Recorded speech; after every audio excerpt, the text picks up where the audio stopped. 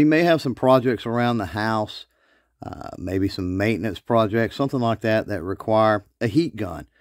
Now, this particular style of heat gun, unlike the big bulky ones that look like a hair dryer, is really cool because you get almost the same type of uh, heat out of it. But with the, I don't know, the pencil style or what do you want to call it, design, you're able to get into much tighter spaces. And you can see that the uh, hot air will condense down into a fairly small area compared to uh, a much larger area with most of the heat guns that are out there, right? So a more directed flow of that hot air.